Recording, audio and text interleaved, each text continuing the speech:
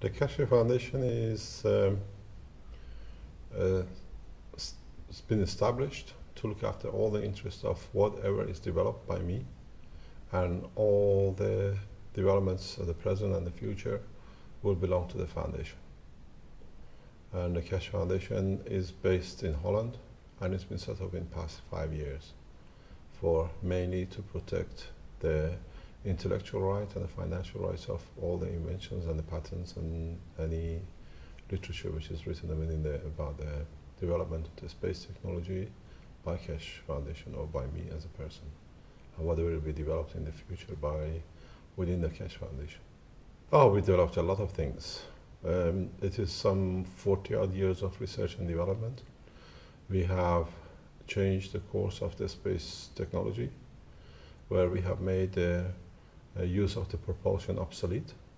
There is no need for burning fuel the way it's done with the rocket propulsion. We don't see such a thing in the universe. And then we have developed, uh, or we are in the process of developing, a one unified medical application, which means one system to see that it can treat all sorts of uh, uh, diseases, cancer, FMS, MS, and all sorts of kind of things. The other side is the development of the materials. We have developed totally new materials unknown, uh, like uh, CO2 in a solid state at room temperature. And other hand is the development of new energy systems, where you can produce as much energy as you need on demand with a very simple system, where it makes the uh, human race independent of burning fuels. And all these things are not talk. We have systems, we show them, and we are developing more and more new systems to make them much easier to be achieved. My name is Mehran Tavakoli Keshe. So I am the founder of the foundation, or Stichting. And I have developed the whole technology from basics of the understanding the new concept of creation of gravity and magnetic field of the earth and over some 20 30 years have found parallel applications in medical and different part of the science for the same discovery the main problem in the world of science was that nobody could understand how gravitational fields are created so over 30 years of research we have understood how gravitational systems within a system like Earth is done. And we made the systems, replicated the conditions, and we achieved the same uh, characteristics of the, as the Earth, which is a system which holds gravity and the magnetic field at the same time. So we brought the technology and the knowledge into the world of uh, medical application, and we've seen how easily certain diseases which have been big problem for the world of science can be reversed or can be helped to be um, re reprocessed, as we call it. We brought the same thing to the other side of material and the energy, we see the same operation. The reason that um, you say that no other scientists have reached such a point is that a lot of scientists around the world are working to this target. But uh, somehow working on this uh, principle for some over 30 years, 40 years, it was uh, bound for somebody to get there first, and we looked at, and as it is, we are the first who's done that. Americans are running a very small pro program, or they ran a program in 2005 under M2P2. They call Mini Magnet Sphere System, which was done in Washington University. And Americans, other universities have looked such a thing, but we're the first organization which actually can produce a physical system to show the whole operation. The system can be used for different applications. Most of the things which we, we thought is impossible in the universe or to be produced, now we understand how gravity and magnetic field can be produced at the same time in the same system. It is easy to produce. It's easy to produce uh, protein out of the fresh air, as you call it, or to produce energy out of a very small system which can give a few kilowatts or a few thousands of kilowatts at the same time from the same system. The breakthrough comes in understanding how to produce magnetic and gravitational field as a plasma at the same time, in the same system, in the same part of the same system. The problem with the world of science has been is that over centuries we saw the effect of magnetic field of the earth, we call it our atmosphere, or we call it magnetosphere of the earth. And centuries later, Newton understood the property of gravity, or he explained gravity.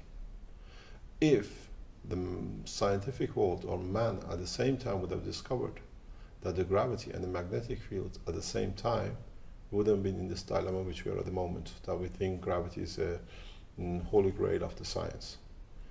Gravity and the magnetic fields are created by the same material in the same place in every dynamic system, be it Earth, be it Sun, be it air, even a galaxy. So what happens in reality is magnetic fields, or what you call magnetosphere of the Earth, is created by the repulsion forces of the field. And the attraction forces are gravity, or they get gravitated. It's like when you have a solid magnet. In a solid magnet, you have a north and south. When you have a north and south, they get attracted. That's gravitation. And when you have north and north, they repel each other. So that becomes the magnetic field or repulsion force. In a plasma or in the plasma of a proton or an electron, the same thing happens, but in a spherical shape. A dynamic magnetic field, they create magnetic field and gravitational field at the same time. So every object which has got a dynamic magnetic field is always a spherical. We don't see cylindrical objects in the universe which have the gravity and magnetic fields. Through the properties of reconnection of magnetic fields, you find uh, most of those objects are spherical, and being spherical, they in turn have fields which they interact and they have gravity and magnetic fields. So what we call MaGrav is the basis of it. What they call anti-gravity is a nonsense. There's nothing called anti-gravity. And at the same time, you cannot have gravity and have, not have uh, magnetic field, or we call uh, magnetosphere. So the two are always together. One is the repulsion and one is attraction. And the systems which we have developed and tested confirms the correctness of theory. The way we have uh, found how we can use this knowledge in the medical application is that as a scientist, as a physicist, I treat the body as a galaxy in understanding how um, matters like what we call as matters or entities like Earth or Sun operate within a galaxy and why they have certain positions and the position don't change. The same thing happens in a smaller scale in the atoms and molecules which they make the cell of the human being. If you understand the concept of creation of magnetic field and gravitational field and how they position uh, themselves in respect to each other and how the matter or entity which has both positions itself in respect to the other of the same, then you can go into dimensions of uh, uh, body, treat the body as a galaxy, then you can allow the body to go back and reset itself to the position as it was before an illness sets in. So the systems we make is rigid, uh, rigid and is a copy of the body. The body of the person is flexible, so he tries to go back to his origin. So that's how a lot of illnesses can be helped to be recycled, what we call it. We don't call it treating, we don't call it curing. It's setting the body back to its original position, or what we call processing it. This technology on the medical side has been tested from 2004 2005 and at the moment we are running some 30 40 trials literally around Europe America uh, Canada Middle East uh, Far East and uh, in Belgium in Holland in, in uh, England and we are learning that we are getting to the point that we can make one system to be able to um, be programmed to reset anybody any physical body from any illness. And uh, the signs are that we are very correct, and uh, the process is still going on. I am born in a house where radiation was part of the bed and breakfast. It was part of the food of the family. My father was part of the Philips International in medical X-rays.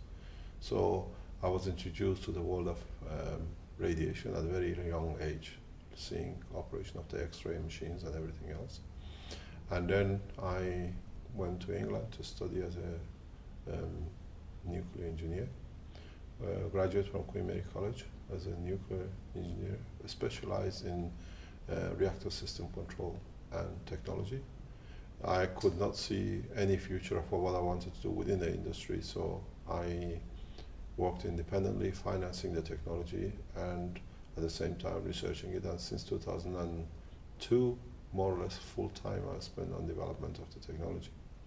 But it's been a long haul process. We have communications from 14th of June, 2000, sorry, 14th of June 1985 with NASA, where we proposed this technology. And uh, we have um, developed the technology over years in stages, but in past five or six years has gone totally in a very meteoric uh, scale up that we are literally developing everything and different aspects of the technology on a daily basis. The whole of science will change from what we know in one way or another in the very near future. As I gave a presentation to scientists in um, institute or organization known as IMEC in 2005, uh, a scientist who was part of the directors of one of the subsidiary of this establishment, he was walking in the room, up and down. We asked him, why you're you pasting? He said, we were talking recently that very soon somebody will discover how gravity is done and the whole ball game changes. And now this guy is here and explaining how it's done. You have to understand that this technology has been evaluated by University of Brussels, Flemish side VUB, by Professor Van Overmeer initially for the assessment for the Flemish or Belgian uh, federal or governmental side of the aerospace. And they said initially, yes, the technology is correct and it's feasible that it produces energy. Then the technology was assessed by independent um, commercial entity to see if it can, a copy can be made. And they said, yes, it can be done. Then uh, we start building prototypes, different prototypes over four or five years. And then uh, we saw the first flips in Belgium in mid 2006. 2007 it was carried on. And in 2008, with the invitation from the Iranian government, we built the first proper gravitational external movement in Tehran, which has been tested. And now the system is very floating and we can fly, we can move any movement we like.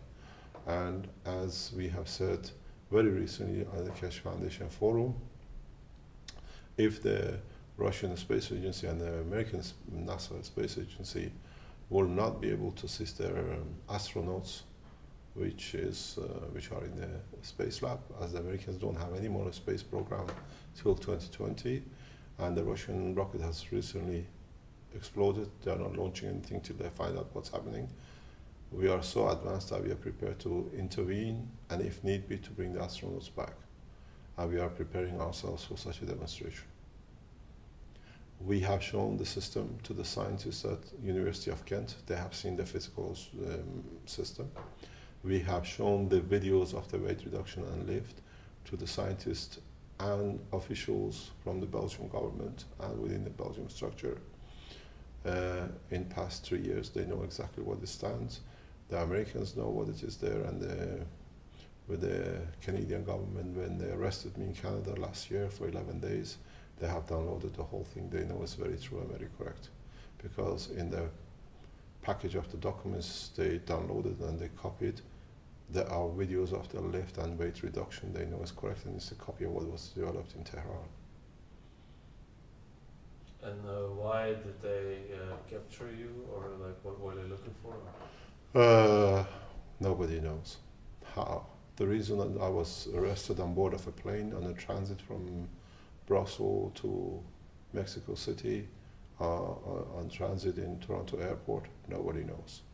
I was interrogated at one stage or two days, three days, up to 12 uh, agents and scientists at the same time in the airport of uh, Toronto Airport from 9 o'clock in the morning till 1 o'clock the next day on three days, con- consecutive days.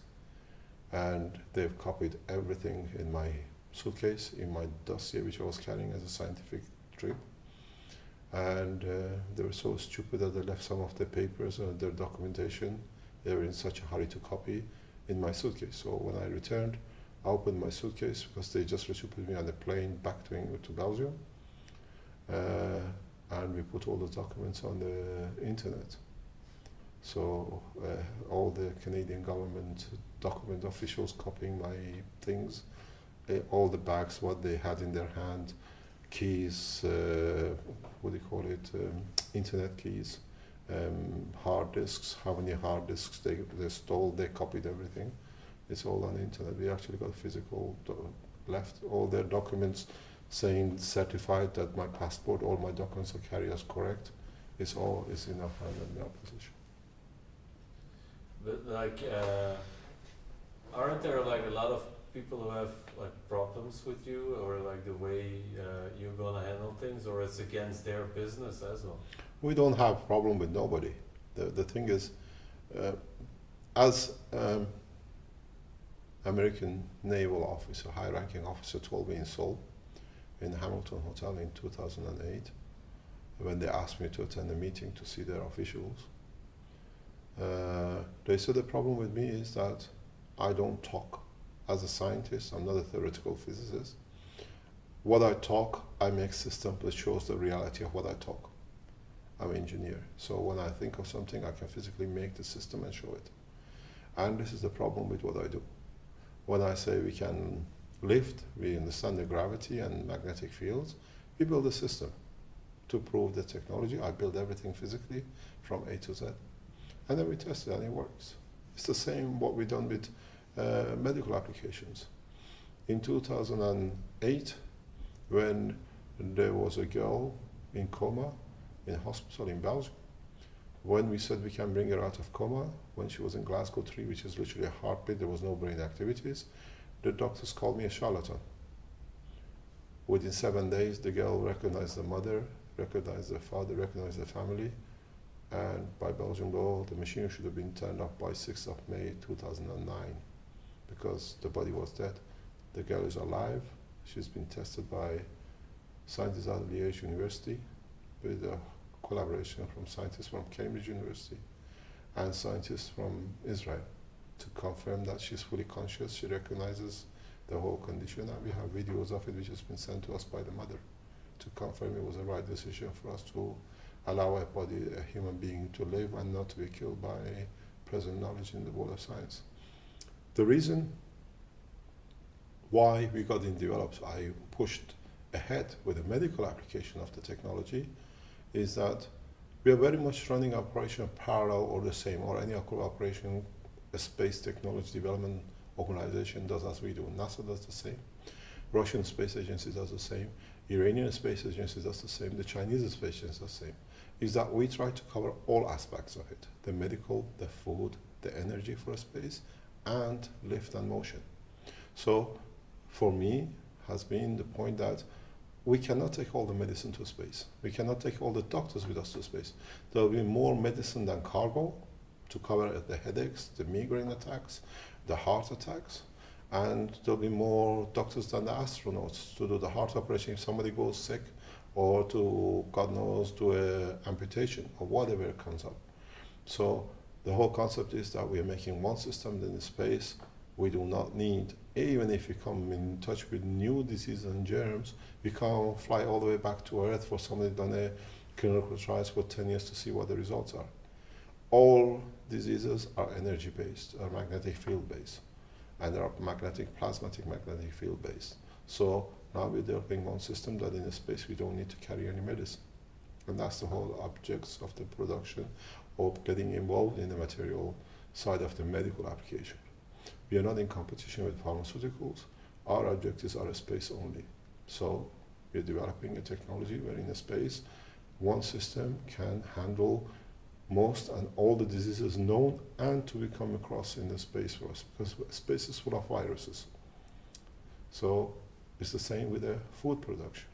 We cannot carry food. At the moment, the Americans are planning 20, 22 miles, 22 months travel. They have to foresee every drop of water that the astronauts or the pilots or whatever passengers of these systems will drink, every food they might consume. Now we have developed a technology that we don't even need carry to food because we can use this process of the cycling of CO2 from the human body to give body enough energy and food that they can travel to deeper space without depending on food from base, which is Earth. The same is with the energy. Energy process at the moment, they talk about solar cells and all sorts of things. In deep space, there is no solar energy and light. So, but the space is full of residual magnetic field of operations of the bodies like the sun and other galaxies. So we developed a technology where we can absorb all these minute energies and collect them and turn them into light or energy for lighting. And we show this with a torch system, which we have shown before. And that's another process that we, being independent from Earth for supply. The same goes with feeding people. People are used to eating solid food, so we had to face in recent past that we have to produce something solid at the digestion system, otherwise it bleeds if you don't feed it. So we use the CO2. We have developed a technology where we can produce CO2 as a solid at room temperature. It's never been known. They said this is crazy, cannot be done. The material has been tested by the scientists at Ghent University. We have published in the second book all the documents, all their finding, all the graphs of the um, infrared and the spectroscopies to confirm this is a new material. And in reality, if you tell me what is a CO2, how can a gas be solid state at the room temperature, is impossible. We always say a very simple thing. Just pinch your own body, pinch your own skin, pinch your own flesh. What is it made of? Amino acids, nitrogen, hydrogen, carbon, and oxygen. You should be a floating balloon why are we solid? Because up to now, we never understood the real fourth, fourth state of matter. We are made of gases, so we should be a balloon. And we are not, because we are, we are solid. And how this solid comes to be is that this is what we call the real fourth state of matter. All the matters, solid, gas, and liquids, are externally affected environmental effects on the matter.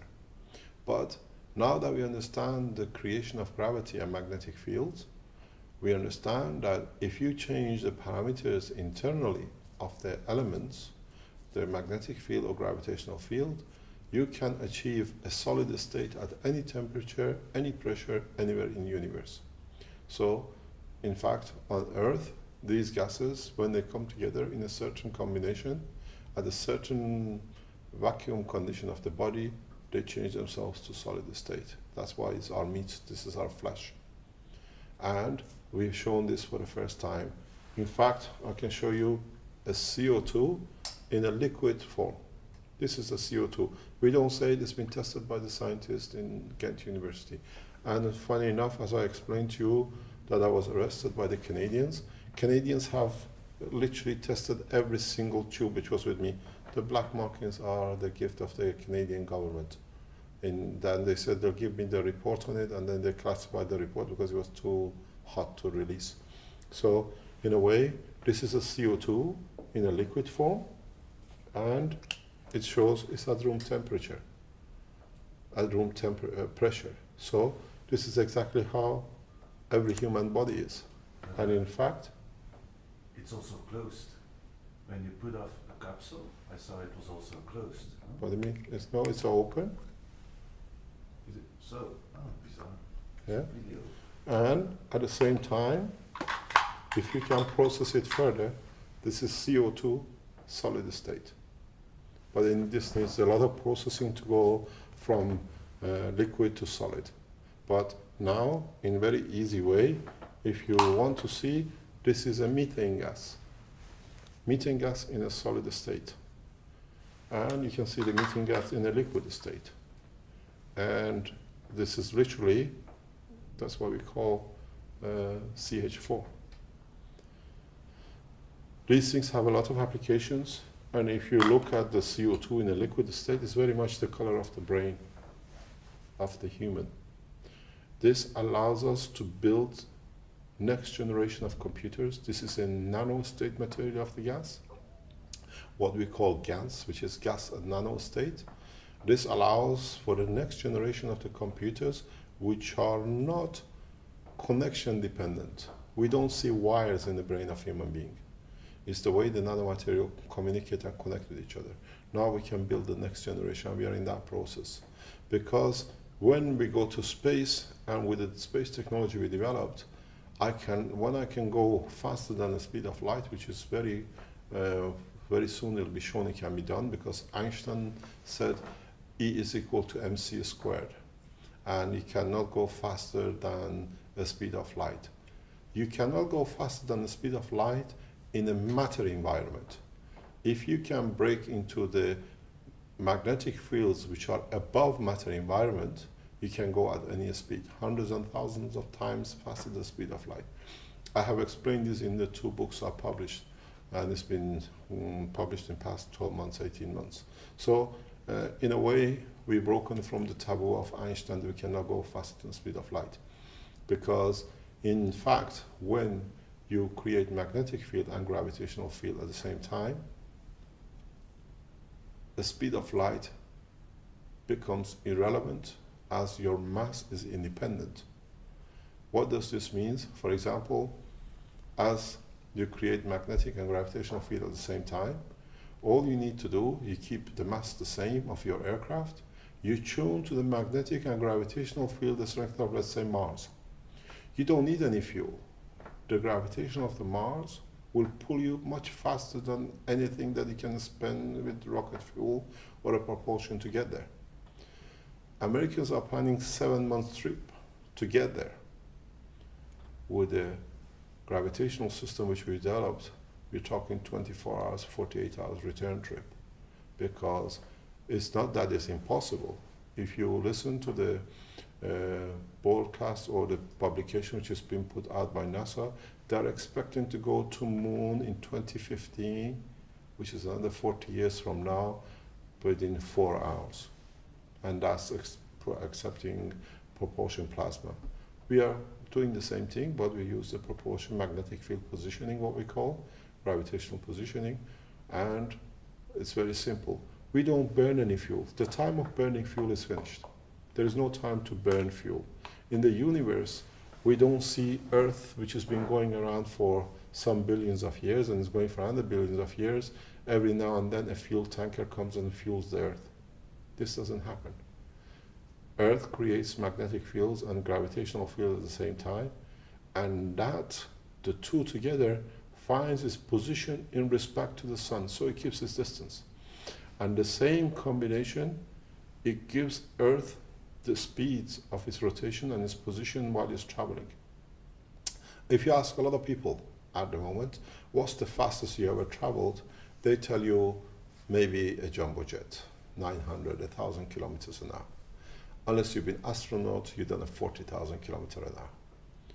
But if you look at the reality, all of us and all our ancestors, from the time the Earth has been created, we all been traveling faster than Concorde and anything else at 1,600 kilometers an hour. That's why we have the 24 hours. The Earth rotates on its axis at 1,600 kilometers an hour plus it hasn't changed. We don't see any wings on the side of the Earth, and we don't see any rockets and propulsion that turns it because we got enough satellites. We looked at it. But at the same time, the same planet rotates at 100,000 kilometers an hour around the sun. Again, we don't see any rocket propulsion.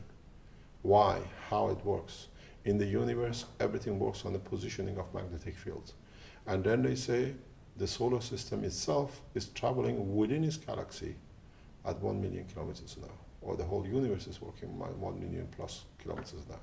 So, in reality, the time and the space of the speed is totally dependent on how and what strength magnetic field in respect to the position you are or you want to be you create and generate. So the theory of E is called mc squared is totally out of the window. It's not out of the window, but in fact it's only applicable to Earth magnetic fields. The other breakthrough with this technology has been, which is very interesting, is that if you ask any theoretical nuclear physicist, what is an electron? Ask any physicist, what is an electron? What is inside an electron? They cannot answer you. They say, we don't know. But we know it rotates and flies around its center, of the proton, at a high speed. When you look at the um, atom and the um, equipment which are available at the moment, you see a fizzy light. That's how we know what electron is. But if you ask what is inside the uh, electron, they say we don't know. It's very simple. For the first time, we have explained electron is a plasma. And it's got exactly the same content as a proton which is in the center. If you think it's a bit funny, it's not acceptable, it's very simple. We say in the nuclear physics and nuclear industry, when a neutron divides, it makes an atom, which is actually a proton and its electron. And ask yourself very simple. If you have a bottle of water and you put three quarters of it in one glass and you put another quarter of it in another glass, what is in the smaller portion? Exactly what was in the main ingredient. It's the same water. So electron is a plasma, but in a smaller quantity than its proton. So for the first time, we can explain that electron is a plasma. And we use this property in our space technology. When we want to lift heavy masses, we use the plasma of the electron. We know how to strip it, we know how to open it. And when we want to lift heavier masses, we use the magnetic field, which is within the plasma. But we're going a step further. The step further is that what we call plasma technology. Plasma technology has been made a lot of, but in fact, if you open the plasma itself, you find out matter, which is what is tangible, is at the end of the magnetic field spectrum. There are higher energetic, stronger magnetic field within the center of the plasma of a proton, for example, where as it unwinds and it slows down in strength, it becomes matter. So, in fact, we have opened the plasma of electron. We go to its center, to its creator of all, where all the energy is released from. We call it the principal matter because that is where everything starts from. It's the principal energy source and principal magnetic field source. Um, the scientific world would like to call it antimatter. And there are very funny things that's been said. They said if the matter and antimatter hit each other, there'll be nothing left, some magnetic fields. But in reality, it's like saying if Earth hits the sun, there'll be nothing left of the sun because Earth is a very small piece in the whole of solar system and the sun is the center. So in reality, what they say, uh, matter and antimatter uh, is, is nonsense because in fact, we call it the principal matter as this very strong magnetic field center unwinds like a literally like a, a clock of springs. If you remember when you were young, you play with it, you wind it. As it opens up and releases in its magnetic field, over billions of years, this entity exists in the universe. So as it becomes weaker, it becomes matter at this lower end of a strength. At the high strength, because it's so high, we don't see it, but we know of its existence because it guarantees the existence of the proton and the electron or the atom for billions of years. So what we do, we open the plasma and we go to the source, and when we're finished, we're using its magnetic fields, we don't burn it, we put it back together again. So when we go to the center of the plasma, we open the plasma, we use this magnetic field, and we use it for positioning. Then we get where we want, or we achieve what we want. Then we then put it back together. We don't burn it. In fact, it's very simple to understand. If you will remember from your child time in the school, they always told you two magnets. If you put two magnets, I try to show it to you here if it can be seen. If you put north and north or south and south facing each other, the other magnet moves away. It's a very small movement, but moves away. You can do it at home. And if you put north and south together, they're attracted. The interesting thing is, if you put south and south together, the other magnet moves away. You've seen it. There is no engine, there is no rocket in any of these two matters. It's positioning. They position each other in respect to each other. So what happens? Without any rocket propulsion, the other magnet moves to find its position comfortable in respect to each other. This is what we call magnetic positioning. And when you bring this into a plasma condition with a spherical shape, because in the universe, as I said, we don't see um, cylindrical matters, we don't see hexagonal matters. Everything is spherical. This is a spherical magnet. This is how the universe is. It has to close itself. So, in a way, I can show you very simply how the matters are in the universe. It's very simple. This is a four magnetic rings, one in the center and four around it. If one of these moves in any direction, the other one moves with it without actually doing anything because they have to find each other's position. They have to find where they are comfortable to be in respect to each other. When one moves, the other matter has to position itself to it. This happens exactly if you bring this knowledge back into medical application, which we talked earlier. You can say the center it could be nitrogen, and the other three are oxygen, hydrogen, and carbon. And in fact, if any of their position changes, that's how you change and you could be great or become ill in one respect or another. So we brought the knowledge back into it. We understand the structure of it. As we said, we understood how we could absorb carbon as a gas of a matter. And we understood very simply that how to use this knowledge, for example, to repair the neural system from diseases like MS. In the world of medicine, they say when the myelin gets damaged or is gone or is eroded, Uh, the patient gets MS. But in fact, we have proven that MS only happens when the carbon within the amino acid changes its characteristics from a conductor to a resistor. So what was a insulation, it becomes a conductor. And this is actually one of the properties of carbon. Carbon is used in everyday life in the motors and generators as one of the best conductors, as a brush. At the same time, diamond, which is again carbon in a different structure, lattice structure, is one of the best resistors known to man. So it's very simple. As a nuclear physicist, developing technology, understanding the gravitational positioning, understanding how CO2 can be made or matter can be made in a, a solid state in gases in the universe.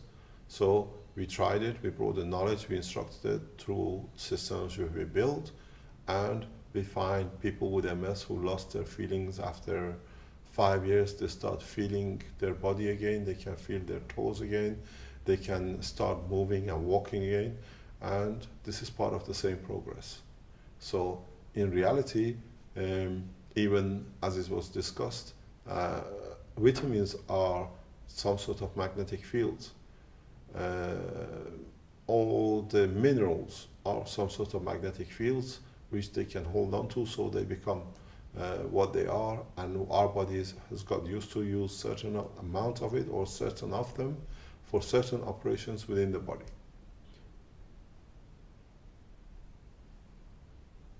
So, well, um, so you say that we don't need those vitamins anymore. Actually, we just need the, the, the right vibration, or like. No, we need the. It's not. It's not that we don't need vitamins. The point is that we have we are learning and we are in a very um, fast way we are learning that we can replicate them as a plasma without actually them being as a solid matter for us to eat.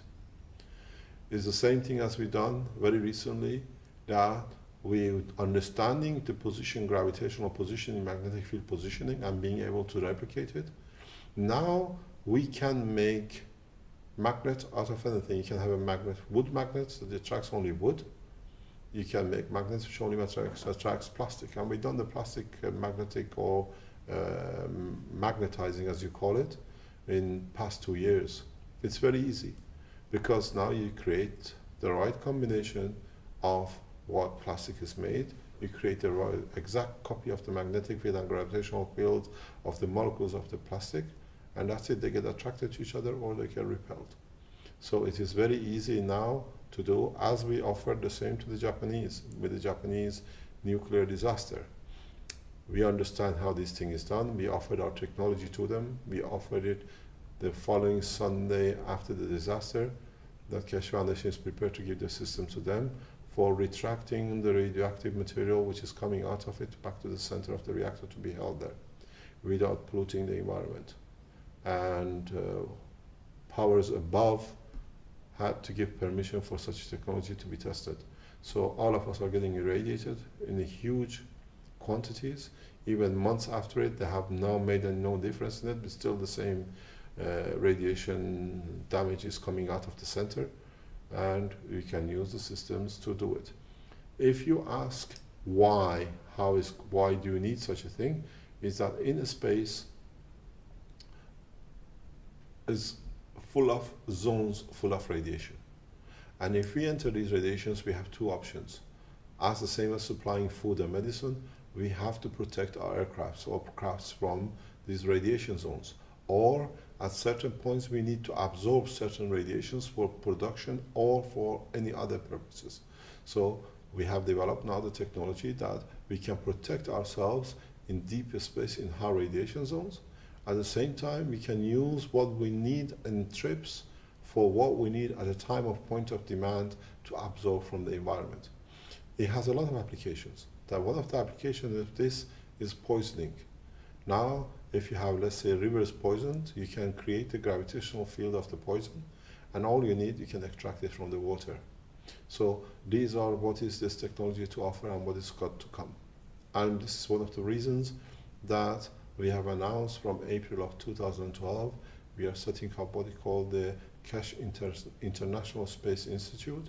We have approached the um, heads of Leuven University for accommodation. If they can provide that, we can collaborate with the university to set up this institute. We will accept 100 scientists from around the world to be trained and taught what we know that they can take it back to their own nations. So the process of teaching and learning and passing the knowledge on has already started. We shared our knowledge of space technology with Iran in 2008, and in 16th of March of 2011, they announced to have a spaceship program, first nation ever, because they have the knowledge, full knowledge has been transferred, and the same will happen in the institute, which hopefully the Belgian government officials will allow it to take place and will teach the same thing. The reason they call it the first nation which has got a spaceship program, because it does not use propulsion anymore. Propulsion technology is finished.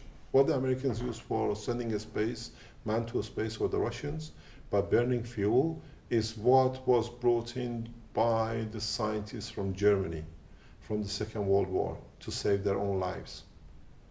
In reality, if you use the magnetic field and gravitational positioning, you don't need to burn anything, as I explained before. So the time of propulsion is over. The Americans know it. They've been, I've given lectures at Johns Hopkins University in 2010 uh, to their scientists. And it's very simple. They are seeing it, they understand what the changes is to, to come about. In the reality with using gravitational magnetic field is that the funny things we see at the moment with the Americans or the Russians, that they train astronauts for years before they go up. They put them in a funny suit. They put them up and they're all floating in a, what you call weightlessness. This is all a game. In reality, if you look, a system like Earth, which creates its own magnetic field and gravitational field, it creates a specific condition that it keeps at 1G. So we can walk and live a normal life without floating.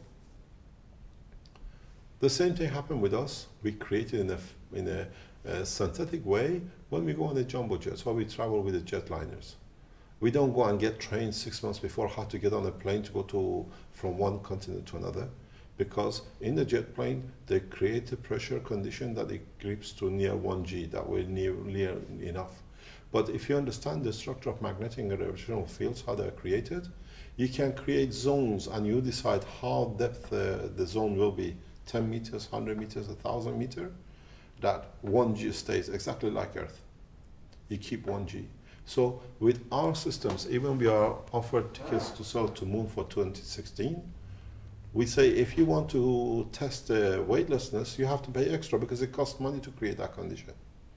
In our systems, you're always stay at 1G. The other advantage with this technology is the Americans are planning to go to Mars. If you've seen the program, advanced program, is that they are planning how to make a capsule or use the capsule that they can literally walk in this, uh, what I call a, a fuel tank for a few months because they can't, unless when they go out of it, they need to wear special clothes to go on Mars or wherever they go.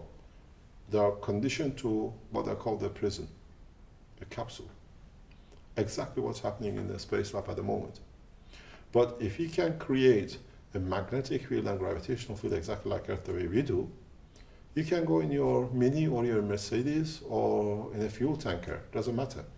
When you get to your destination, you increase your magnetic field 10 meter, 100 meter, exactly still at 1G. You can walk, you can walk on moon, you can walk on Mars, you can walk on any planet, you can even walk in space at 1G. Because the magnetic field and gravitational field allows you to create a zone. When you finish, you reduce your field, you go to the next place. It's like a holiday camp. You can open tents anywhere you like. This is the future of this technology. We don't talk, these are not fairy tales because we have systems now.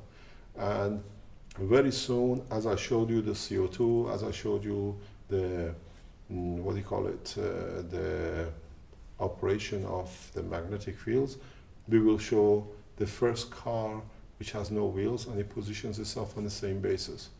You don't need to tank fuel anymore. You literally find your position, you don't have the wheels, you'll fly at any height you like. But the advantage with this technology is that we have tested it, we can say clearly that because you create magnetic fields like atmosphere around your system, the heating, which was like with Concorde, Concorde used to expand by a few centimeters because of the heat when it was called supersonic. So if you put this system inside, let's say, a jumbo jet, you can increase the boundary of the magnetic field beyond the physical boundary of the uh, plane, and then there will be no friction between the plane and the matter in the space or in the environment of the Earth. So you travel a friction-free environment, so you can go much faster. But if, for example, you put this system inside the same plane, as the dynamic magnetic field of the system are operating, your system becomes invisible to the present knowledge radar technology, which means as the magnetic fields of the radio waves approach the system, as I a plasma, a dynamic plasma, it literally absorbs it in and chucks it up and literally becomes part of its structure. So the wave from the radar never goes back. So while you see the object flying, the radar says there is no object existing because it doesn't get the feedback or the return wave. So these objects, once or any object using this technology to the present radar frequency are invisible. So a lot of people will see them, they say there is such a thing in the sky, and uh, radar especially says there is not because there's nothing on our radar, but there are ways of detecting in systems. So, but at the same time, because these systems created dynamic spherical magnetic fields, these magnetic fields interact with the magnetic field and gravitational fields of the Earth. So the consequence of two fields interacting is creation of light. So most of the time from now on, when you see these systems flying in the sky, due to interaction of their MaGrav, magnetic gravitational field, and the gravitational magnetic field of the Earth, you will see what we call bright lights in the sky. So in the future, the way we see jetliners track in the sky, we know the plane has been there before. We see this, what we call the vapor lines. In the future, we only see light at the point where the object is because when the object moves, the light goes. There is no Uh, leftovers in a way. So, in reality, very soon, the way we got used to seeing jetliners in space or in the space above us, very soon we get used to seeing lights, bright lights crossing over. That's exactly what we'll see what's happening. But this has, brings us to another dimension of the use of this technology. And that is using these gravitational magnetic fields at the moment the speeds of Mach 1, Mach 2, Mach 3, which is used for missile technology and weapon technology, it becomes a child play. We have done a test and we can confidently say that using this technology, Mach 30 plus, Mach 40 plus, about 40 to 45 is the maximum within the Earth atmosphere. Why? Because if you go too faster and you cannot control, you usually zoom out of the atmosphere. So to be able to develop the control system within the Earth atmosphere, you can go about 30, 35, Mach 35. In a way, this makes the present nuclear missile technology obsolete. You know, say anyway, as we say, you send one with a missile of two, three thousand, a system which goes 35, what we say, return to the center. It is very easy. So in a way, one of the applications of this technology will be bringing peace that no nation can use weapon technology against the other. But on the other hand, if you have it and you want to use it faster, everybody is the same position now. This brings another subject about how and where this technology is going to take us.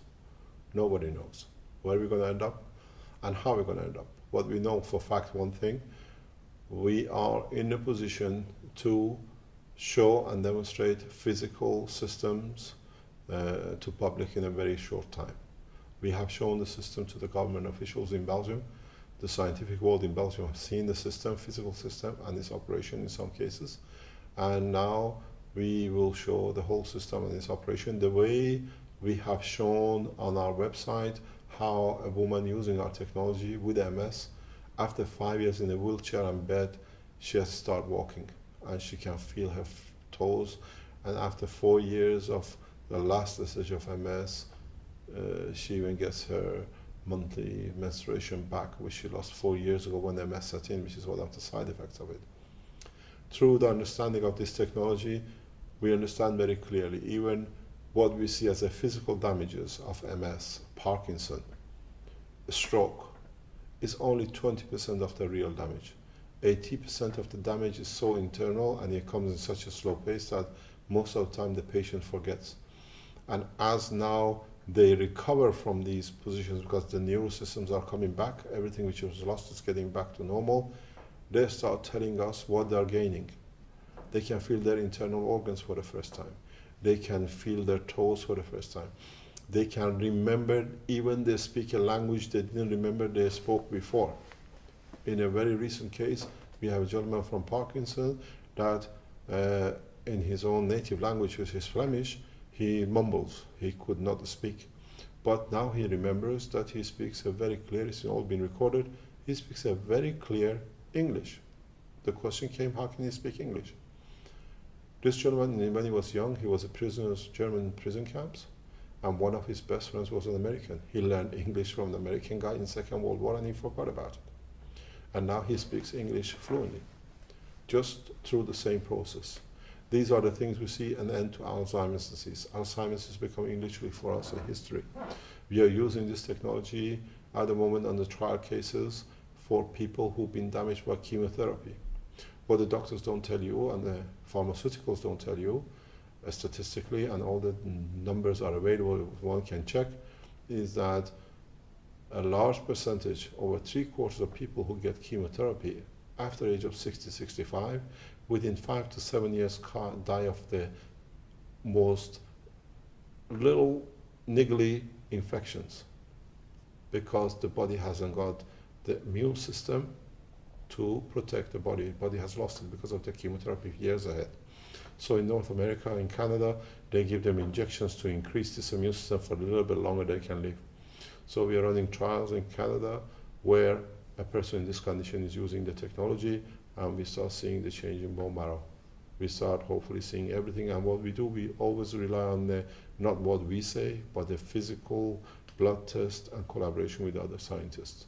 So we see the changes. We have seen a very recent past, a woman who's been in bed for five years, after eight weeks she can sit up and actually try to walk. We have shown this video in past seven days in our lectures. This is what is to come. This is the changes of this technology. In a way, the society will change one way or another. We have seen changes in small measures over centuries. We moved from a donkey to finding out about the wheels. they say the wheel was the biggest invention of man. It made us independent of the animals. Then we found out about the steam and water. And then we found about the electricity was another change. The society changed totally. In um, mid, late 20th century, we found the computer. They said everyone's going to lose their job because of the computer. Now there are more employed people through computer and computer programming than anything else. This is a phase. You can put any obstacles, any objections to it, but now the cat is out of the bag. There is no way it can be stopped. The, the reason the cat is out of the bag is certain things. First of all, um, as I said to the Americans and the Canadians, I said, the problem with you, you captured me too late on board of a plane. They literally walked on the board of a plane. They were waiting with all my documents in their hand. It wasn't coincidence. They, were, they knew I received my visa to go to Mexico less than 24 hours before. And the officer who came on board to get me, he said, I've been studying your case for three days to be a nuclear physicist to speak to you on, a, on your level. So they know what's coming out, what is about to come. But the thing is, as I tell them, as I told the Canadian, what do you call it, officials, is that the problem with you is you left me too long free to publish too many books, to put too many patents which are published, to write too many scientific papers, and to talk to too many government officials and scientists and teach them. So the time of trying and stopping the change is too late. We have treated too many people in Europe that they've seen alternatives. We have given so many lectures. On average, I lecture to about two to three hundred people, maybe sometimes more, every couple of weeks. So the knowledge is passed on, and Keshe Foundation is growing within the people, amongst the people in Western Europe. People who've seen the effects of the technology through their own brothers, to their own themselves being treated. Most of the people who work with Keshe Foundation are the people who've been sick themselves and they've seen, uh, we have a gentleman who's been not be able to work for 15 years and within three days from start using the technology, the guy cannot stop working, he's working seven days a week. And this is the same. A man or a woman who's, who could not do something, now she can do a seven days work. So they're putting their feeding back, they're supporting the foundation and teaching and allows us to teach. So it's not that it's going to be a change, what's going to happen. The change will come. One day the oil will run out. Not in the next 20 years, in 50 years. So there is no, there is no uh, reason why, why not now? This is the question which we were asking when I was invited to come to Belgium first. Anybody who we talked to said, why Belgium? Why do Belgians put themselves so down that why not Belgium? And as we said in very recent talk, the launch of the first uh, um, what we call gravitational field by Keshe Foundation will be done from Belgium. You can go to New York from Brussels within two to five minutes. And most of this five minutes is actually uh, landing and getting up. And the same you can go from Brussels to Tokyo within less than 10 minutes.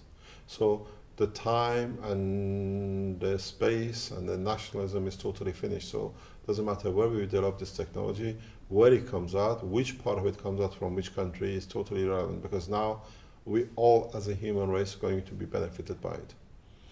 We're all going to have not a free energy, but energy as we need to the amount we need. No more abuses of uh, environment to burn so much fuel to damage the environment and no much so much exploring the land and uh, doing all sorts of use of the fertilizers to destroy that for the next generation we are running into problem with even with the air we breathe. So this is what's going to happen. This is what a lot of people say what we've been waiting for, but now that it's here, they can't believe it is here. So it's just the mindset. And it, the way it's coming out, the way we are selling books throughout the world through our internet system, we see that everybody, we are even selling our energy system is bought in Hong Kong and in China. And this is very interesting. So we sell it as much to South America as to European countries and everywhere else they are putting deposit to receive the energy system. On the other hand, a lot of people talk about the free energy. There is no free energy. The only thing is that, as I explained at the beginning, we go to the source of the atom, the plasma, and we go to the source of the plasma, which is what we call principal uh, matter or principal magnetic field, which is this magnetic field is there for 10, 15 billion years. So what we do, we go to the center, we use it for five or 10,000 years. That's why instead of for the atom to unwind itself over billions of years, we allow it to unwind in 10,000 years. So that extra energy is what we receive. It's nothing is free. We just learn how to speed it up and use what we, what we like. So what they call, we're going to have a free energy, there is no free. We're still using magnetic fields of the matter. But if you go into um, principal matter and what the, a lot of people now talk about the dark matter and dark energy, this is very interesting. We call it a transition energy, we call it a transition matter. And why transition? Because all it is is from a point of the strong magnetic field to get to the point of where we become tangible, it needs a transition time. It needs a time to arrive. So magnetic field in motion, this is what I call energy. So that motion from the strong field of the source to where we are, it cannot go on its own. It needs time. It needs a space of what it's going through, and that we call the transition. See, why is transition? Is because it's a transit. And they call this dark energy because they couldn't understand it. Now we understand what it is, we can explain it. And in the book, I've explained what's the difference between a light and an atom, or a proton or electron. So it's very easy to understand the whole concept because we go back to the origin of the creation and we can explain and control everything from the top to where it becomes matter, which is important to us as a human. And this, what is matter to us, not necessarily is matter to the other creatures which are in the universe. So we are part of a, a, a chain of events. Yeah, but in a way, this is the most beautiful invention ever for mankind. Is this a beautiful invention for mankind? Depends how mankind uses it. It's very much, it's a sword which cuts both ways. As I explained to you, I can use a magnetic field to travel to deeper space in minutes, or I can use the same magnetic field to commit the most horrendous crime, which is dilute your body within the field. As I said to the national security officers of Belgium some time ago, with the present guns, because they in the talk they're carrying revolvers when we were talking. I said to them, at the present, when you shoot somebody with a revolver or a gun, there is a body. You can relate to who shot who. With this technology, when you release the magnetic field of the principle hitting a matter, is what I said to you about the earth hitting the sun, there'll be nothing left of you to know who was there. How are we going to use this? Into what advantage and to what who, whose advantage? And who can control who? Or as the knowledge has been well published and released within the public, if you have an internet, you can educate yourself, but if you understand it, you can build the systems, is that nobody can abuse nobody anymore. And no nation can run another nation for raw material.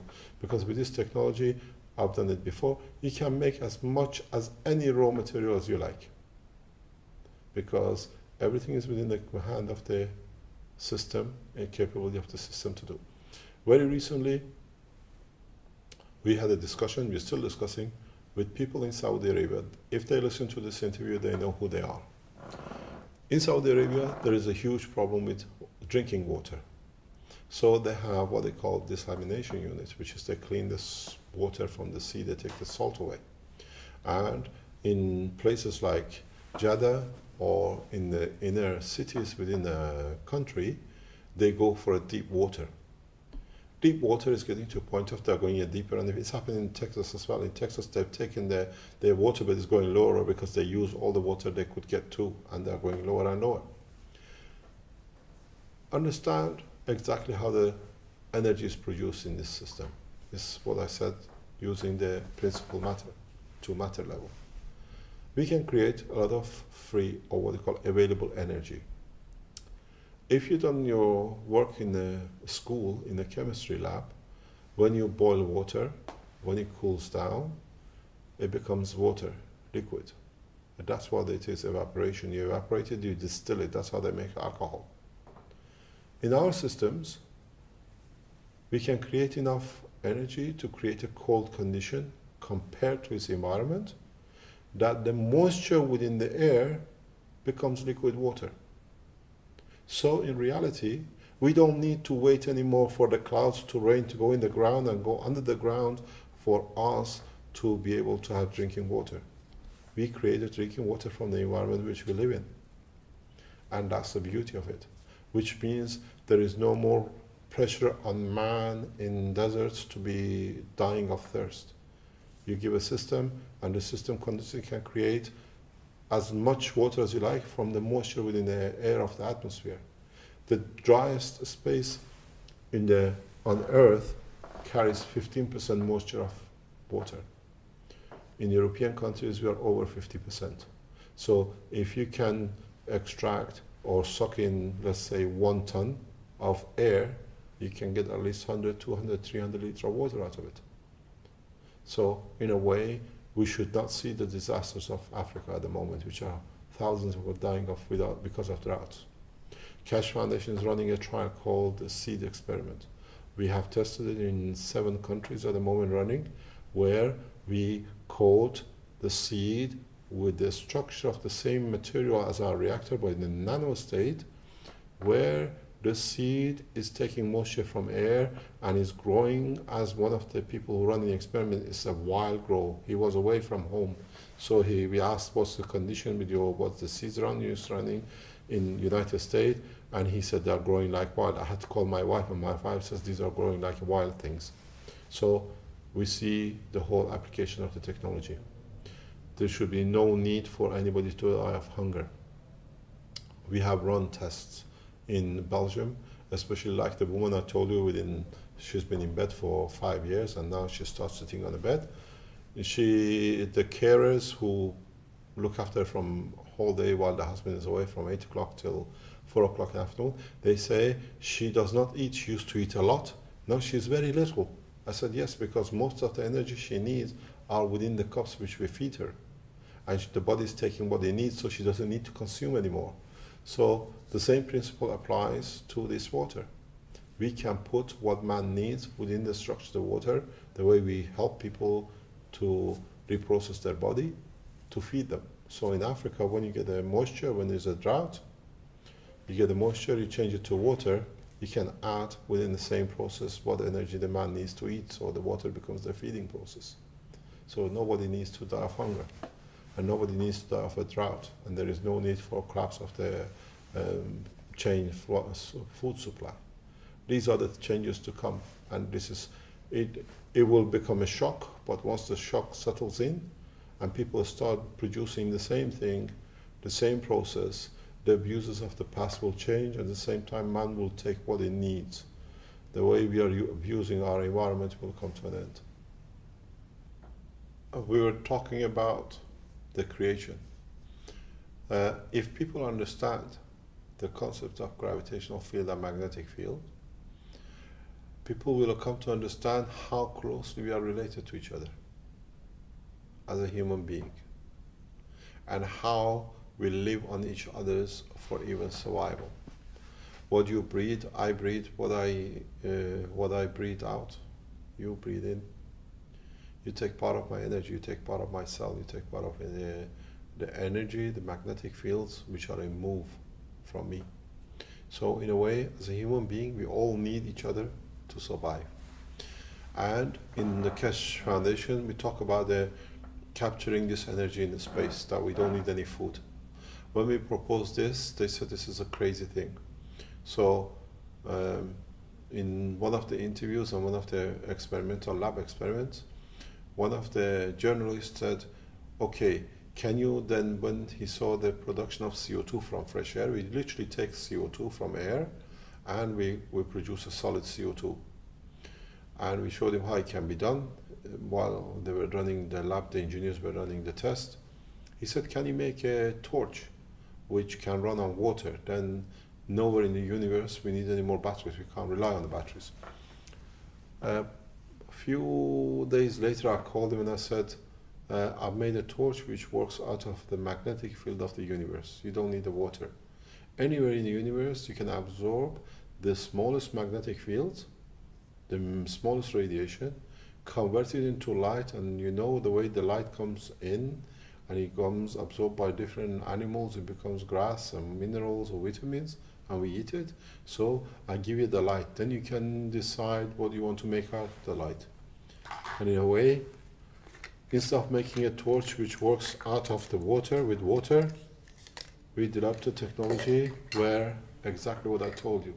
In deep space, we need to absorb the smallest amount of energy in fragments, store it here in a capacitor, and in a very simple way. This could be, in a way, this light, ray of light, is part of the energy between us which is sitting in this room. So the advancement is very much on the line of understanding how creation is and where we come to end up as a creation. So this system has no battery. It's been running for nearly over two years now. We have run it, we can run it for months and months. We've done it, we got fed up, we switched it up because we wanted to show people what it is. And it has no battery. It's literally a hollow system. But the structure, the way we explain of magnetic field and gravitational field, understood, so we can repeat this. We've got two or three torches like this running at the moment. Just to show in space, we do not need to take even anything with us except absor- even absorbing what is in the space to create as much food and energy in the space without relying on the mother planet Earth. So this brings us back to another position, and that is, what's the purpose of our creation? Why we've been created? And this I have explained in a book to be published late this year or beginning of next year. It's called Universal Order of Creation.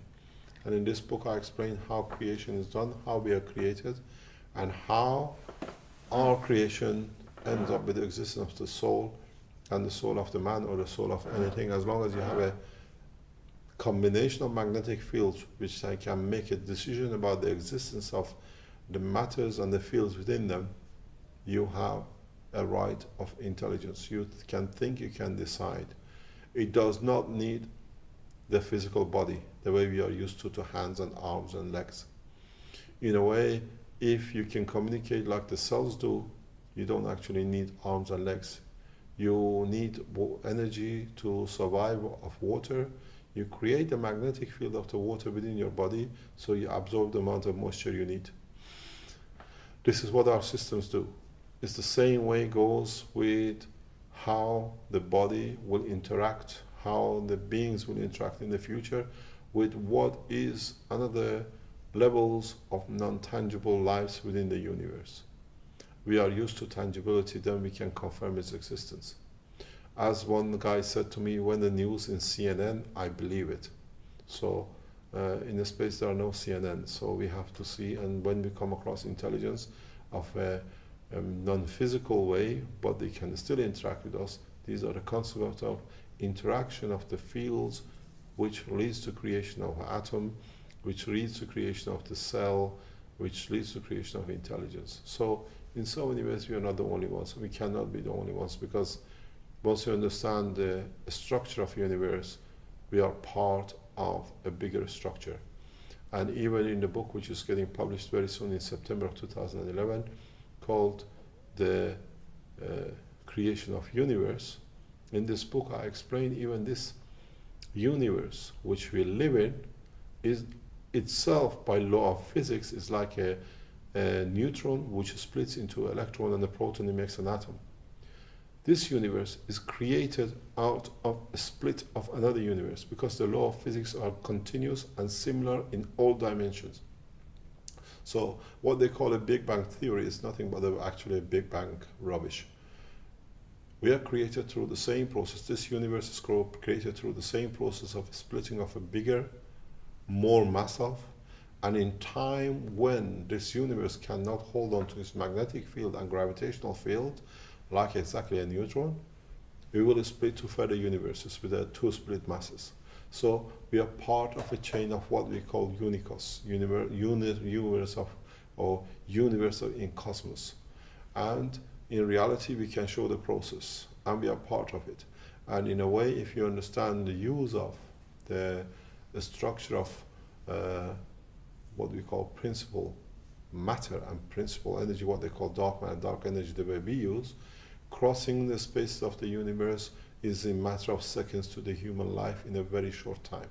You are protected, but this time, for the first time, when you have a planet like Earth, what gives its magnetic field and gravitational field is given at its birth. It's constant, it cannot change. But with our systems, we can change it. So we can change the strength from matter to what they call transition matter or to what we call the principal matter strength. So with a higher strength, you can travel the space in a much faster, at the same time with a full protection and with a gravitational field. In the book, I've explained in a very simple way that you say, matter what happens to me when I go into an antimatter environment, or what you call what we call principal matter, or what you call a dark energy, and I we call it a transition energy. In the book, The Structure of Light, I've explained that our body will change in time to the environment which is in, which means when we go into the dimension of matter or dark matter, or we call it transition matter, or principle matter, what you call antimatter, because our cells are made of this and what we call principal matter in the center, as it slows down in the strength, it becomes uh, matter, then in those environments, the antimatter or principal matter will come forward. So we keep the integrity of our existence as it is, but instead of using our matter level, we use our, or our body will changes to uh, its principal matter level. So in different dimension of the universe magnetic field, different strength within our structure will come forward. And in a way, uh, Einstein says uh, light is energy. In fact, this is nothing but load of uh, nonsense. Because light is a plasma. It's exactly the way the structure of a neutron, um, neutron or a proton or electron. The only difference is that for a plasma of neutron, for example, to travel from A to B in a space, if it, if it keeps its spherical shape as it is, it meets a lot of resistance what it does as it tunes its magnetic field to point of its destination, wherever it could be, it becomes elongated. So, in fact, light is a plasma, but in an elongated shape, which in every environment which it goes through, it changes its cover, its jacket, according to its environment. When it's in the a strong uh, principal environment, this principal field comes out because it loses less energy. There is less friction when you're the same. So the principle of what they say, uh, light, yes, there is a light in the dimension of the uh, transition matter, there is a light in the principal matter, but in that field the strength, and the light is due to the friction of the two plasma of the light against this environment. So there's a lot of answers in the world of physics we can now scientifically explain because we understand the creation of principal matter and dark matter, and at the same time, we can understand the creation of the soul and what's the problem or what is the purpose of creation and how we have a soul. The soul is very simple. I've explained in the book, which is to be published, the creation of universe, that the soul is like a ray of light we see from a star in the sky. Probably the star has died and been destroyed, has been absorbed as part of other pieces in the universe millions and millions of years ago. but its light still is in travel to distribute, to participate in the structure of the universe to its balance. So the soul of the man does not need the body of the man to exist. So it's very simple to understand how and where we go with our souls and the structure of our souls. No, no, no, I'm not God. It's just how we understand the process of creation. That is the difference. We understand and we go to the basics of the creation at any point in the universe. You don't need to be God because the fields are there, and one way or another, if you give it the right environment and give it the right magnetic field and gravitational field uh, appropriate for a certain type of fields to exist, you will have matter in the universe according to your own magnetic gravitational field. Why do we see light at this frequency? Is not because the light appears at this frequency. It appears because our amino acid magnetic gravitational field allows us to see the light at this frequency.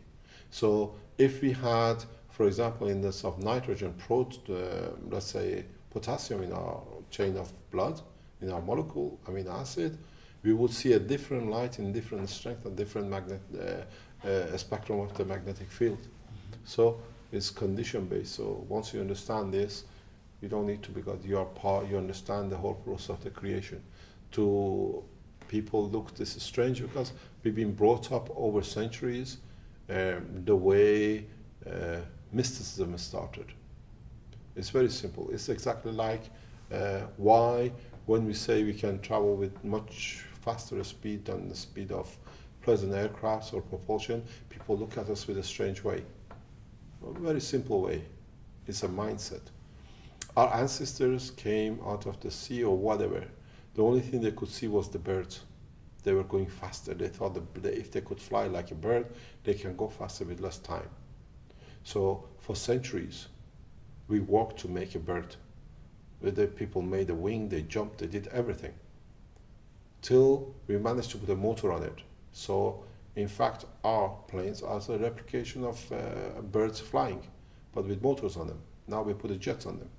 And then it came to the propulsion. The propulsion system is nothing new. Americans tried to glorify it. 700 years ago, 800 years ago, Chinese made the first rockets out of their firework. All they've done, they made a bigger tank.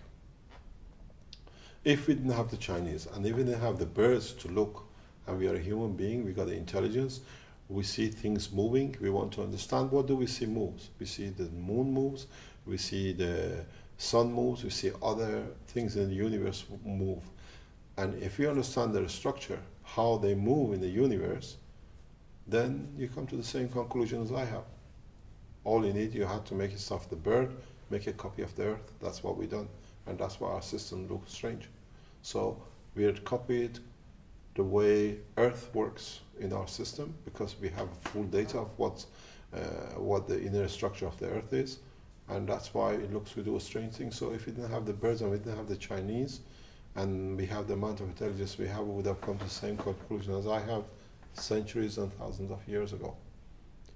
A lot of things goes as I explained. Man did not discover gravity and magnetic field at the same time if we would have discovered the two together and we understand it's the simplicity of the same, as I said, magnet, north and south, we call gravity. Gravity is gravitation, getting pulled. And north and south pulls. The same thing, so north, north and north, replay, uh, what do you call it, repulse. So if you would have understood the two together, we most probably would have been a totally different race, would have been much, most probably the other side of the universe by now and into other universes. But we need the time, and the, thing is, even this time is not time for man to understand this technology because the man is still kills for his own ego. When the man learns he can live at peace, then the time will come when the man is time to mature enough to go to the next step. And this is what I said in one of my books, is one, is one of the books that's written, is that in time, if man goes with this attitude of war and killing into space, and comes across other creatures which have much more advanced knowledge of the creation, uh, they will not allow to be carried on with this technology, with this, this killing and destruction. They'll be taught a lesson that they'll never forget, and they will forget about what they've been brought up to kill to survive. And uh, what do you feel the near future will bring us? Within the next 10 to 15 years, we'll cross the solar cell, solar system. Within next three to five years, most probably, we brought our technology so advanced. Crossing galaxies within the next 10 years will be a very high possibility because now once you open the Pandora box, everything else is be seen very easy to be done. And then the universe is the same dimension. It's, it's very interesting when you say what I see of the future. There is a, a, a very stupid concept in uh, astronomy. They say Venus is the only planet in solar system which goes clockwise. And this comes from ignorance of the man, the way they used to think that Earth is the center of the universe. They say, at the moment, cosmologists and astronomers say, is that the Venus has been hit in its life by a meteorite that has caused the reverse of its rotation. This is nothing but the rubbish. Because why? We understand the concept of the rotation and magnetic field and gravitational field. We created, we developed a, technology, system to, to prove the concept. And it's very easy. In our system, our reactor magnetic field goes exactly like Earth, anti-clockwise. If we change one of the field's of strength or change the position in respect to other field slightly, the reactor starts vibrating and then it starts going clockwise. So no meteorite has ever hit the Venus. The only thing is, in Venus, there are two possibilities. In its inner core, the magnetic fields are positioned slightly different, or one of them is moving much faster than the other one, and that's why it's going the other way. The other possibility is, as is in the book which I explained about the creation of solar systems, all the planets are moving in sequence. It means as the big giant planets we see as gas planets at the end, they become closer to the sun because the gravitational field of the sun is pulling them in. As you come to a certain position, then our rotation will change in respect because the Earth is, the Sun has got a much stronger gravitational field and a high rotation. Then Earth, as Venus moves in closer to be absorbed by the Sun, Earth moves to take the position of Venus, we start going clockwise. And we can show it physically. So the mystery of Venus being hit by a meteorite is nonsense. It's the same with the rotation of uh, Uranus. Uranus is the only planet which works on its vertical axis, and all its moons go around its vertical axis, where our Earth we go on the uh, other axis. Yeah, we have a system, and we show exactly how. If you change one more parameter, the system to find the stability moves sideways. So, what hit Venus, uh, Uranus? There was no other meteorite, and these are huge gaseous planets. Even in the book, with a paper which is getting published in the book which is coming out, The Creation of Solar System, we explain exactly how the ring of Saturns are created, the reason, because we have a system, we can show it how it's done, and how all the gaseous planets have rings. Because it's part of characteristics of their creation, that's they have the rings. And part of this has already been explained in the second book, which is the structure of the light.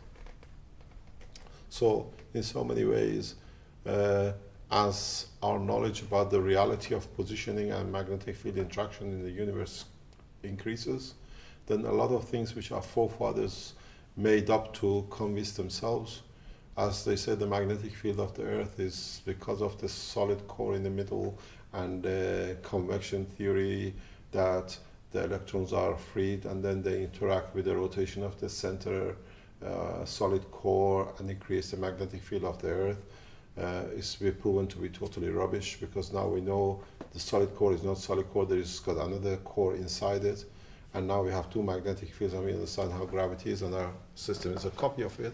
If you read my books, I explain this fully in it. So these are because at that time in the 19th, 20th century, they understood the concept of dynamo. So they thought the Earth is like a dynamo.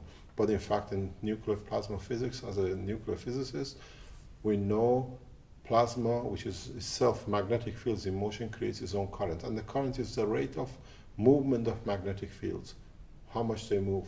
So that leads to creation of magnetic field itself. So in a way, magnetic fields, their motion creates its own magnetic field, which feeds the universe. So you don't need that much material. The concept that the center of this earth is a solid matter is totally meaningless because it's plasma, it's certain amount of plasma and its motion creates a second magnetic field inside. The solid core and what we knew created on the other side is still a plasma. The two fields interact and goes back again to what we said. The two sides which interact, they create the gravity, and the two sides which are similar, they repel, they create the magnetic field of the Earth. So in a way, once you understand this, crossing uh, galaxies and universes will be a matter of next 10, 15, 20 years, and no more. The reason to explore, and if we have everything, is that we are human race. We always wanted to know what's next door. When they found America, we all went there to see how America is. And we, that's why we started from one position in the universe on Earth, and we moved further and further and further to find the better lands next door. It's part of our nature to expand and find out what the universe carries. But on the other hand, as I always say in all my talks, what we have discovered and what we have we are developing is a knowledge like a house with a thousand steps to get to the top. With everything which we've done in past 30, 40 years, with everything which we are developing so rapidly in past five years, we haven't even gotten to step one yet. We're getting ready to get up to before even we walk yet.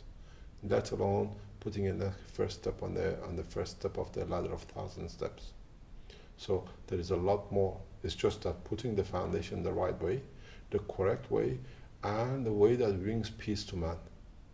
With this technology, there can't be any more war. Because I have as much knowledge as you have, and at the same time, I can dissolve you that you become nothing. And I always said in my letter to United Nations and the US House of Justice, I've said very clearly,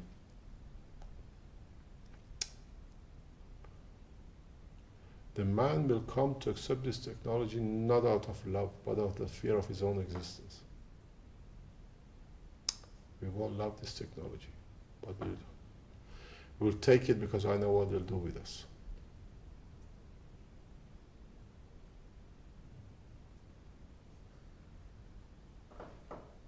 Okay. Uh, oh, what was my question again? Uh, And what will do with us? There'll be none of us left. There'll be no man left Why? because we can literally bring back ourselves to the point of noneness, nothingness. There's never been a Big Bang. If you understand the process of the creation, uh, this theory of the stupidity of whoever came up with the Big Bang theory, when a proton divides into electron and proton, there is no Big Bang. It's just a whoosh, and the plasma splits. Huh? Whoever has been coming up with this creation of huge Big Bang, and then they created, and there's this stupid logic of uh, when the universe cooled down, the gravity got hold, then atoms were created. This is a total nonsense. This is the guys who don't understand nothing about physics. In physics, when now we understand the structure of plasma, when the plasma slows down, it comes to a matter level, it becomes tangible to us. So there was never a big bang and there was never cooling. And the actual, the universe is, they say the universe expanding. The universe expanding because the principal matter is in the center and as it is unwinding, it's growing itself. And the reality is that what we call the unicos, the universal cosmos, is that if there wasn't a room for this universe to expand into, this universe would not have expanded. So there's another part to this universe which is beyond our knowledge of what we can see. So this universe is expanding into an environment that that environment allows it to expand into. And when that environment does not allow the expansion anymore or takes more than it needs this universe, it leaks like exactly the solar system. The rays goes out, this universe will divide and become two other universes. And there'll never be a Big Bang. It's always like we see it exactly like a division of neutron into splitting, and it's just a whoosh, and it starts from the center, and you see the structure. So there's a lot of theory about uh, the same with the black hole, creation of black hole.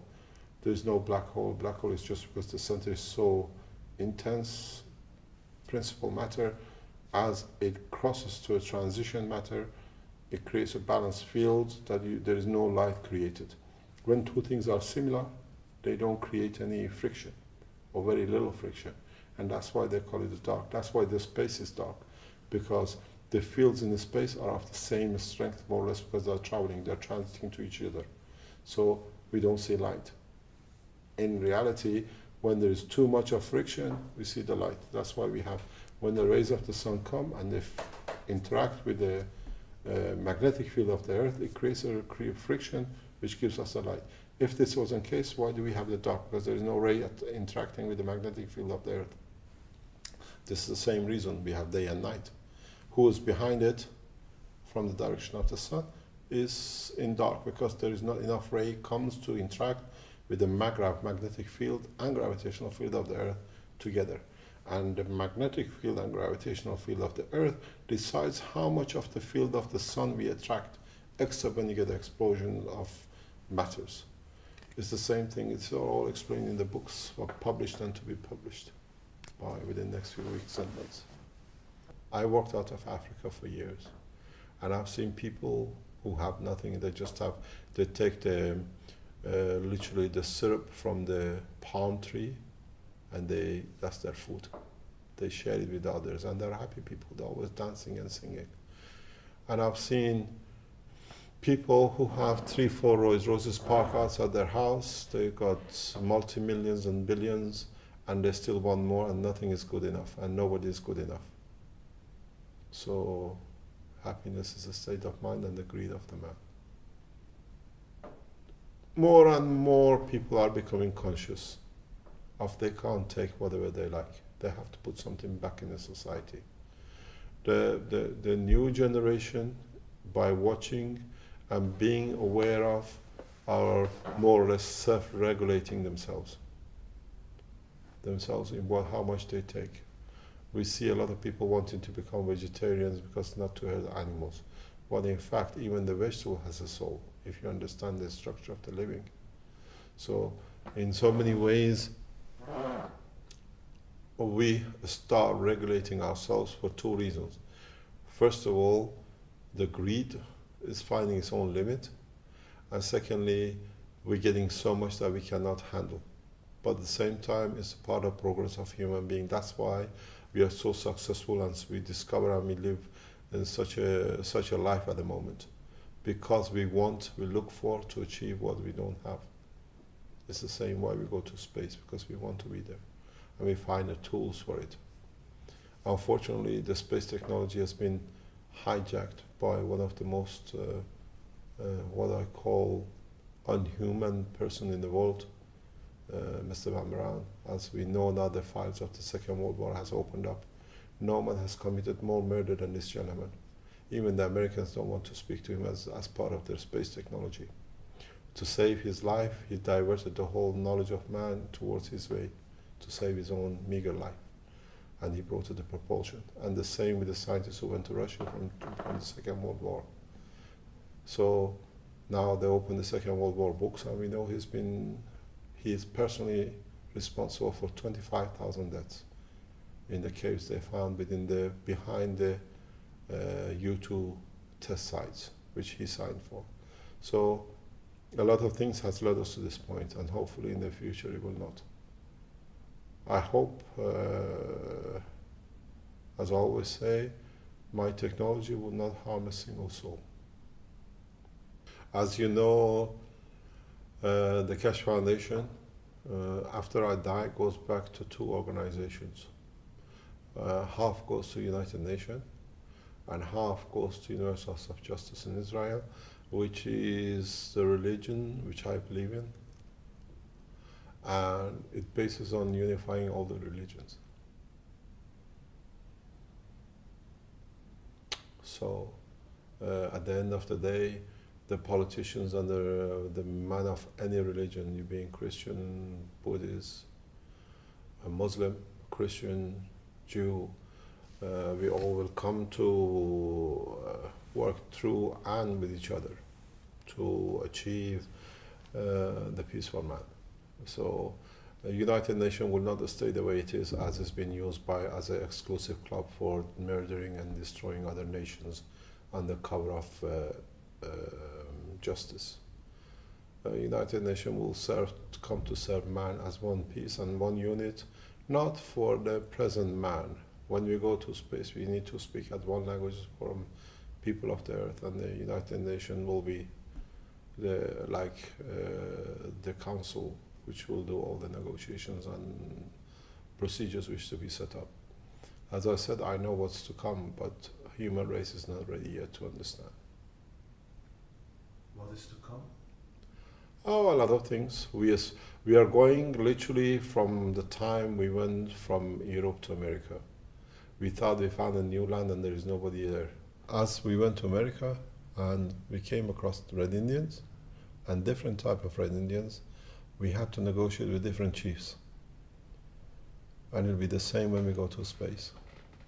When we come to new places, there'll be different creatures, not necessarily physical the way we see them, but there'll be men of intelligence or livings of intelligence. We have to negotiate, and that negotiation and all of it on behalf of the rest of the human race or the blue planet will be done by United Nations. This Mickey Mouse game of abuse of uh, power for certain people to please their own pocket will finish very soon because everybody will have as much as everybody else and everybody can do what everybody else can do. So equality will come very much faster than other people think. Because I can build the same house as anybody else and I can have whatever luxuries in it the same as anybody else. So the greed time will go at the same time when man goes to space they realize how feeble they've been fighting for nothing. Because there's much more in the universe for man to enjoy than a brick and mortar which they put together and call it their own in so many ways. There is a lot of uh, uh, talk about um, UFOs and other things, which I don't believe in it uh, because uh, it's not UFO, it's not unidentified. With the technology which I've developed and the way we've seen we operate when we turn our systems on, we see the glowing of the system, exactly like a, uh, what we call a bright light. So uh, whoever we call UFOs, they are not UFOs, they are people who came to understand the structure of working of a universe and use the same system as now we use. Their system has a gravitational and a magnetic field, and the interaction system with our atmosphere creates a light. Once you go out of this um, atmosphere, you, the interaction is much weaker, you don't see it, you work in the same level. So, uh, we ourselves soon become a UFO to somebody else. Because the knowledge is here, I mean, in the next 10 years, we are the aliens of the other planets. As, as they are, they are exploring to find out about the rest of the universe. We will explore these within the next five to 10 years. So um, I've seen some structures in the pictures people show. Um, you can explain the systems could be real because if you use a magnetic gravitational system and you understand the way mm, you need systems to move in different directions, you will understand why the structures are and the way they are. As I said in our uh, first trials in Tehran, thanks to the government of Iran, um, we achieved a vertical lift Vertical lift is very easy because once you create a magnetic field and gravitational field against the Earth, it just pushes you up or you move slightly in one direction.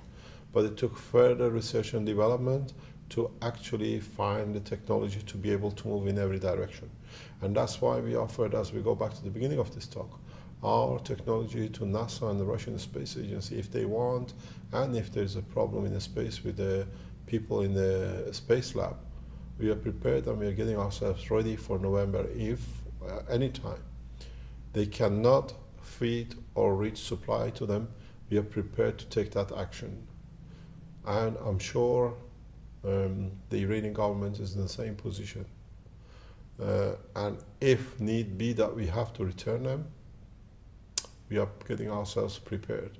The technology is not a technology, the systems are there, we have to bring our development within the next few months uh, very quick, quickly into operation. And every effort is being made to, do, to get to that point. Even today, the preliminary stages have been put into action. People talk about this is a fairy tale. To them, might be to us, it's a reality. We are we already working on the machines that doesn't need wheels and moves on its own because we understand the directional motion, how to move back, forward, and sideways. We don't need propulsion. Initially, we thought we lift, we create a lift, and then we use the energy of the system to literally use like a propulsion to blow ourselves the direction we want to go. But now, understanding the concept of motion in any direction, we don't need that kind of things either. So sooner or later, uh, we become ourselves bright lights in the sky for ourselves on a regular basis. Mm-hmm. And um, I regret that I misused, abused the word UFO, meaning unidentified flying objects, by which I mean that the objects that we see could be identified. So it are, for instance, maybe extraterrestrial vehicles. They are, they are like us going from, let's say, Europe into Africa with our modern cars, where they are used to donkeys and camels or elephants. Just because we have a little bit more knowledge and we've got a little bit more advanced, it doesn't mean we are any different than the people in those countries. We're all the same blood and same flesh. And it's the same with the people who, what you might call slash, uh, extra UFOs or whatever they call them. These, if there are such a thing, which are, there is no if about it. It's just that this level of life has reached to where we are now in past four or five years with this new technology. So we have to a lot to learn, and the basis of learning it and using it is to be used on a peaceful way. Man has changed his habits. Once we change the habits, then we find out uh, a lot of things will open up for us. This, the scene has to be set by the governments. The governments have to change the attitude of uh, what I call raping and uh, uh, what I call destroying other nations to feed their own people. Governments have to learn to share and to be there to support the real way, not to rob the way it's been done for past centuries. And in a way, uh, as I was giving a talk to uh, the scientists from IMEC, the Nano Institute in Belgium, years ago, um, the, one of the people present, the scientist and the financier, said the problem with you is that you write your books in such a simple language that everybody understands. Your papers has to be in a very complicated scientific way. And I said to him, I write my books in a way that a white man sitting across the table from me calling him professor and a black man in the Bank of Jungles of South Africa will have the same understanding and can do the same thing that one cannot abuse the other. Mm-hmm. He got upset and he left the room. So, and they said IMEC is not prepared to collaborate because I was too straightforward. So, at the moment, according to what we have, our technology is about 100 to 150 years ahead of IMEC, according to the people inside IMEC. So I think IMEC can close their doors or join us to bring a peaceful processing program. And how happy are you as a person to be able to play that magnificent role and sharing that? There is no role to play, it's just a matter of transferring knowledge. There are a lot of scientists who work on the same basis and they see what we do and they are copying it, they are, they are doing it. I've been to China, I've been to Korea. I have spoken to the scientists from different part of Europe. Um, very interesting point uh, is I was talking to the top man in NASA years ago. And I remember the position. I was standing outside, nearly outside the central station in Antwerp. Goes back to 2004 or 5. And he said to me, uh, Mr. Keshe, we have a problem. The problem is, if we accept your technology, which we know is correct, what are we going to do with the 7,000 propulsion scientists in propulsion lab in NASA? So we have to block you to guarantee the jobs. Jet propulsion laboratory. Yeah, JPL, jet propulsion boys from NASA know me very well, even the astronauts who I speak to them on the personal line, private line.